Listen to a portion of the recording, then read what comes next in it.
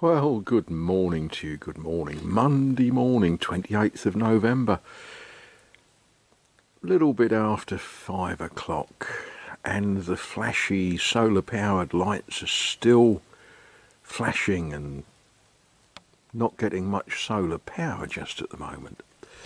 But on a Monday morning, there is a little ritual that we do here in Azay-le-Ferron, which involves people walking about with black sacks. And it's nothing to do with Christmas, it's entirely to do with how the dustbin men come on a Monday morning. And here they are incredibly regular at about five past seven, which means either you get up early in the morning and put your rubbish out, or what a lot of people do, they put it out the night before. Um, but I, I don't seem to have too much issue with getting up. I, I have people that leap on me and uh, chew the end of my nose if I don't um, if I don't get up. Something to do with food.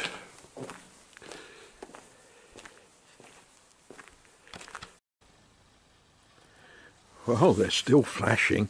I'm quite impressed with the amount of, or the lack of sun we've had. Yeah. Right, I better jump in the car and um, I'm going shopping for an L today. Might talk about that later. Well, you've been along this road a few times with me. Yes, on the way to Yzeures-sur-Creuse to go shopping. Um, Monday morning, 28th of November 2022. The first Monday of Advent. Yeah, Advent. And I was just thinking about a chap that I used to work with, a man called John. Actually, in my life, I've worked with a lot of men called John, uh, but this particular one was, yeah, yeah, good man good man. And one day he posed the question to me What is more important, Christmas or Easter? Now, that, of course, is one of those sort of round and round sort of questions which is more important, Christmas or Easter? Well, without Christmas, you don't get Easter.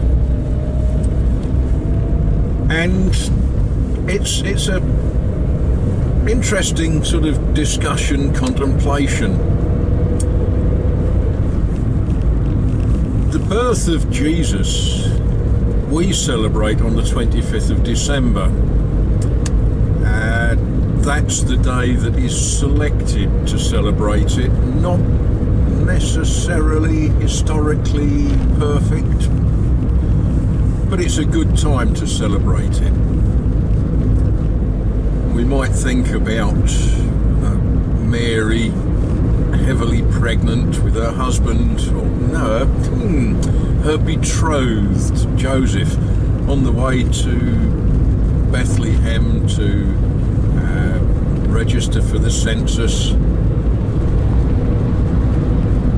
That's what happens when you drive a bit slowly.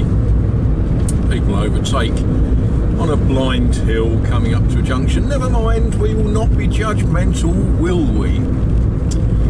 Anyway, back to Bethlehem.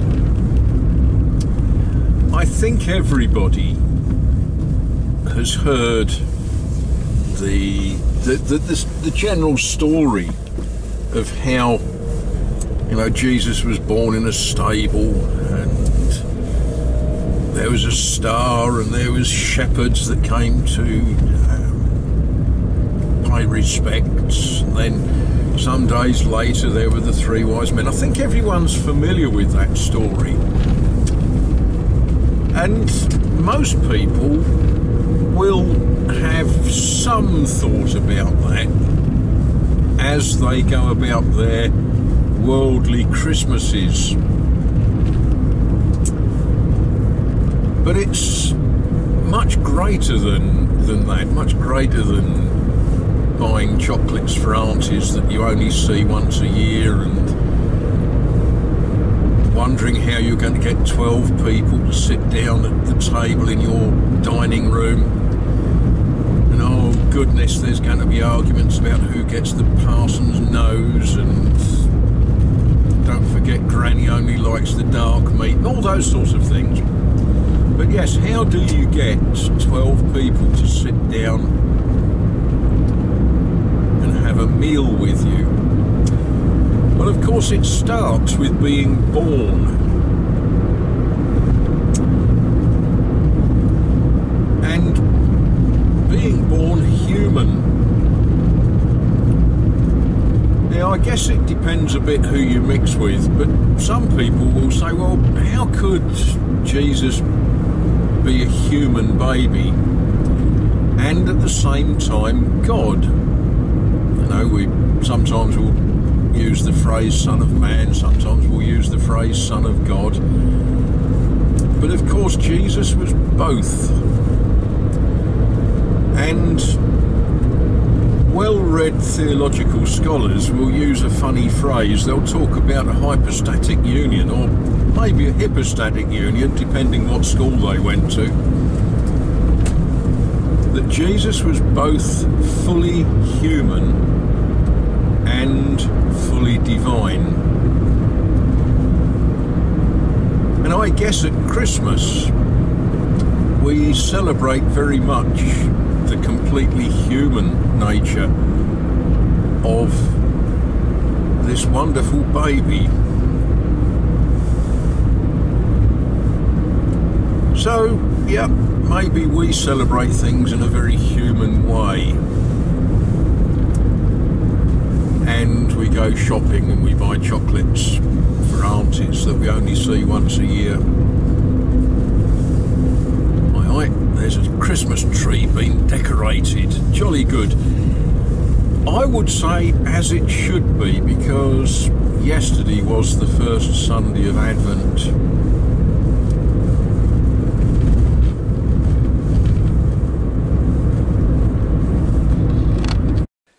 Well, I went in all the shops, and in all the shops I asked the same question Have you got an L?